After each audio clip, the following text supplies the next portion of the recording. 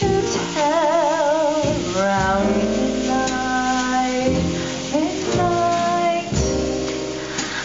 do pretty well till after sundown.